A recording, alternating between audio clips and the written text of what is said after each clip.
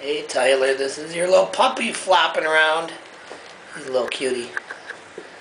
He's heading up for some dinner, some lunch, some breakfast. Oh, there he goes again. Oh, there he goes again. Okay, now it's time to eat.